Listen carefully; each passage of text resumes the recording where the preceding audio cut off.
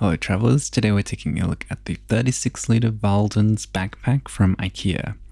I did a previous hands-on with this bag and the link is in the top right if you would like to see that one. But in this video I'll be talking a little bit more about what I liked and didn't like about this bag and just going slightly more in depth with some of the features of the bag and how they feel in practice. If you take a look at the bag's design it may come across as fairly plain and lacking in pockets, and it does look like it would be a top-loading bag. However, if you turn the bag around and flip the straps back, it is actually a real full clamshell panel loading backpack and it gives you complete access to the inside of the main compartment. Taking a closer look around the outside of the bag, there are also two hidden pockets.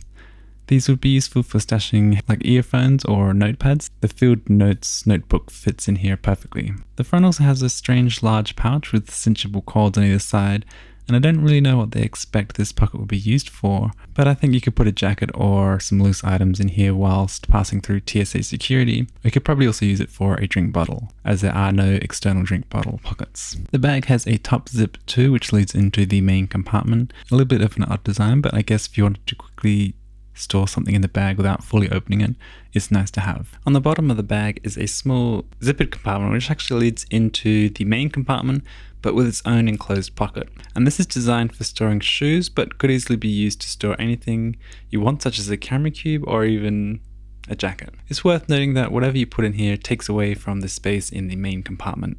In terms of how much you can pack in here and how long you travel with, it's definitely on the large end for one bag backpack sizes, and you could easily travel for months with this bag. Although that also comes down to efficiency and how much laundry that you're willing to deal with.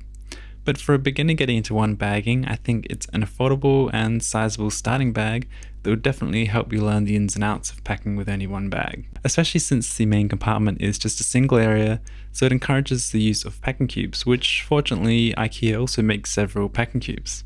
I also did a review on one of them here if you want to click in the top right hand corner to see that one. My favourite feature of this bag is it only weighs 730 grams or 1.6 pounds, which means that it's quite a bit lighter than many of the other popular one bags, and means you have less weight overall to carry on your back and you can pack more in it if you need to.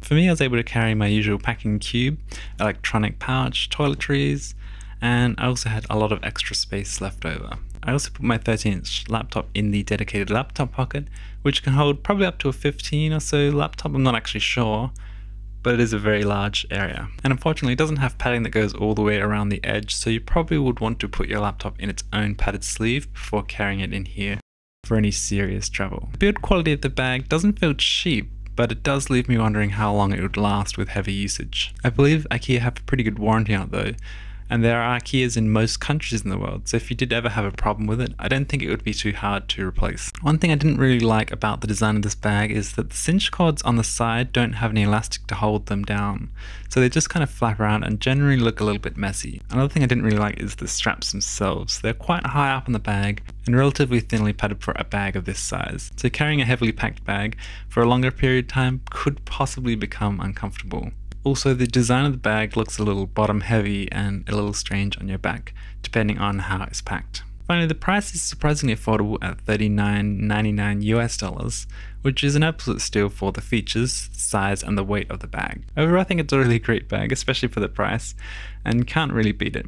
I think it would be especially suited to beginners or those looking for a larger or lighter bag for future travels, or even just a weekender bag. Let me know down in the comment what is your favorite backpack, and please be sure to subscribe to keep up to date with future videos.